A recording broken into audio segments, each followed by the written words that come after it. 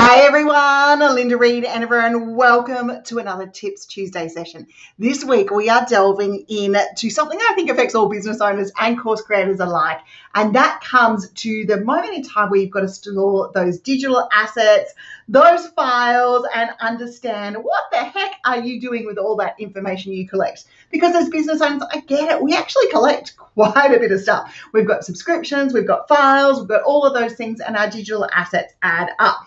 So I'm just going to quickly share this through to our Course Creator Circle community and BBB uh, so that I can share it with those people there and we can get started with our live session today. So if you're first time tuning into a Tips Tuesday session, say hi. Let me know where you're tuning in from. Let me know what your business is and let me know what it is that you do along the way. What is it that you do? Um, what type of files are you trying to store? All of those sorts of things. And we will delve in two seconds in the, line and make sure that uh, we are being able to.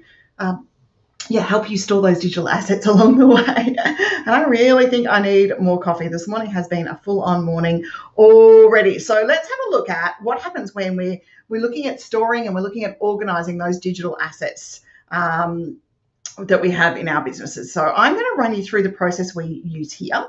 Um, and just let you know what it is that works for us. Um, now, it may work for you or it may not work for you. Um, oh, God, I can't spell. There we go. Done.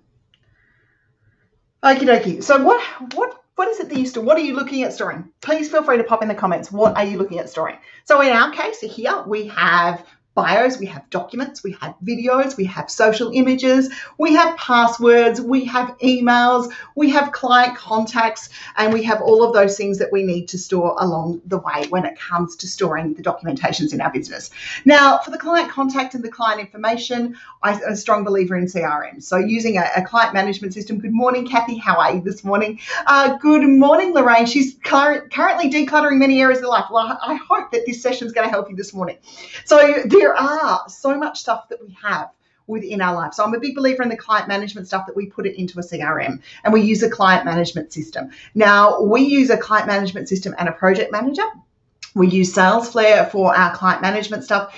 What I tend to call like a lazy person CRM. It tracks the emails, it tracks the calls, it tracks the calendar bookings, and all of those things along the way for you to be able to look at it from there. When we're doing our projects and when we're doing our work and keeping ourselves accountable, that's when we use a tool called ClickUp. And ClickUp is our project manager, and it allows us to be able to know what we've got to do. We put our checklists in there so that we remember, hey, did we do that? Uh, and we don't forget the little steps along the way that come through on the day to day side of, of doing things. So when we talk about managing our client communication or our project communication, they're the two things that we do there.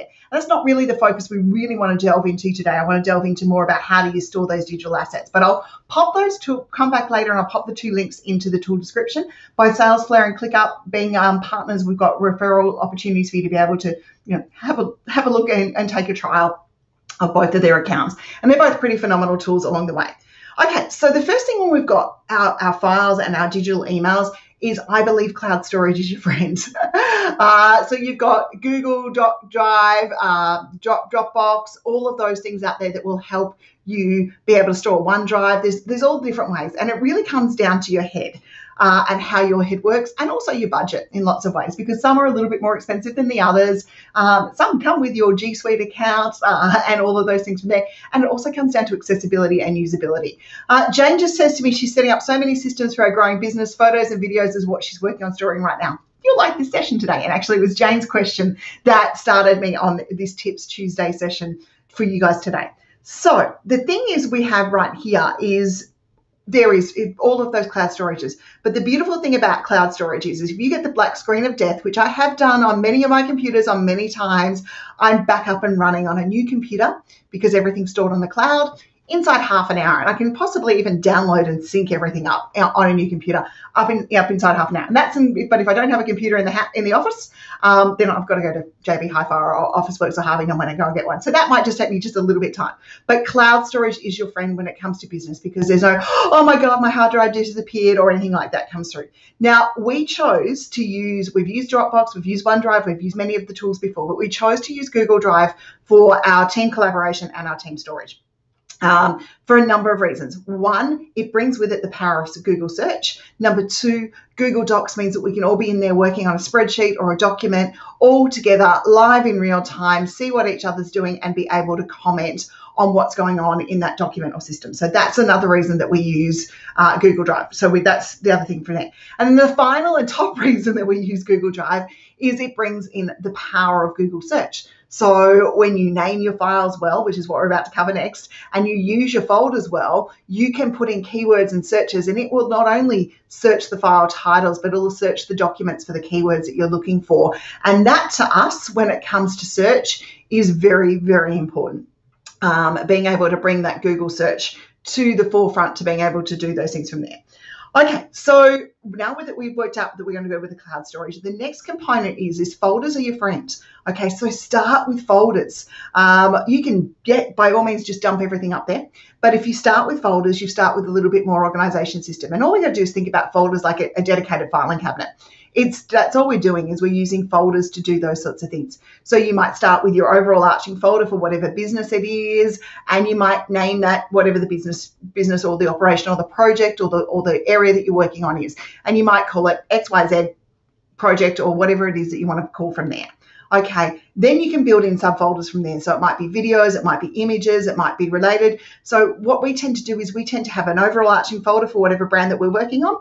And then we have subfolders, which are the projects or the courses or the workshops, all those things that we are working on for that brand. And then we start to develop it out. And those project folders tend to match the project boards that we have inside ClickUp and they match through and they map through so that when we're providing the boards and that there's one space uh, that we're providing access to. And then we can share access to that folder for that particular team that's involved on that particular project at that point in time. So we're not having to worry about so much you know storage uh, sharing opportunities um, so folders are your friends. So use them. Start setting out your folders and you know grab some post-it notes and start to have an overall look about what folders do I think I need, and then start to move them around. And don't be afraid to rename them, remove them, merge them into duplicate folders, and all of those sorts of things. But the next thing, and this is really key, and it's something that frustrates me when I when I'm an editor, uh, and all of those things, is naming your files really well as the next step. Okay, so naming and describing what the file is is a really good thing. So if it's an available for interview profile for me, for example, or my speaking profile, we'll say guest speaking profile, Linda Reed Enever, 2021 or whatever we want to talk about. And if it's a particular, it's a marketing one or it's a course creator circle one or we've done something a bit different, we will name what it is. The same with our presentations. When we name our presentations, we name our presentations, whatever the name of the file is, who's presenting it, when, and it, quite often when it was last updated because we want to know when the updates were based on, on what the file is from there. So whether it's those things. If we've got a document in progress, we'll say in progress, not ready to use, and we'll put that in the title so that no one uses something that they're not meant to use. So when we look at naming our videos and our images in particular, describe, describe what's in it. So Jane, I'm because it's your question, I would maybe probably say photo of Jane in the garden with garlic flowers on a spring day or something like that so that you know what it is and maybe even describe the outfit that you're wearing. If you're doing a promotional video, you might say yoga promotional video uh, uh, of Jane uh, in whatever outfit you were wearing uh, in springtime in the yoga studio or in sunset or with sunny background. Because if you describe them, if you describe what's doing and you name your files well, then that power of search works really well for you coming forward. And it's a lot less harder going, I think I had an image that did that, but I don't know what I called it by describing the image or describing the video, when you name it, when you put the file up there, you've got a better recall and a better power of search coming to you when you start to go look for it. Maybe, you know, six months down the track or even three or four years later, we go, I think there's an image out there of me doing something like that. Or I think we've got a shot of the farm based in those areas. And if there's things that are going to be time dated and you want to, you know, run a time stream, add the date to the file, add the date of when the photo was taken because that or the video was taken and that will really help. So folders are your friends. Naming those files really well are the next next thing that you need to do. Um, and then I just want to talk about a couple of other digital assets that you have along the way within your business. So passwords are another thing that you're going to have. You're going to remember them. Now, I've seen lots of people with password books. I've seen them with password spreadsheets. Uh, the thing that we use, and we use a tool called LastPass. And LastPass encrypts our passwords. Once again, if I lose my computer, I lose my spreadsheet. I'm not relying on some it being stored in the cloud for someone else to be able to access it. I've got an encrypted database of passwords that I can access via LastPass. We also use it for our clients to share their passwords with us so that we don't see their passwords. Okay, so that when we're using a password for a client, we don't have to see the password, but we're able to log in and do whatever we need to do for them along those ways. So LastPass is a good one for managing passwords.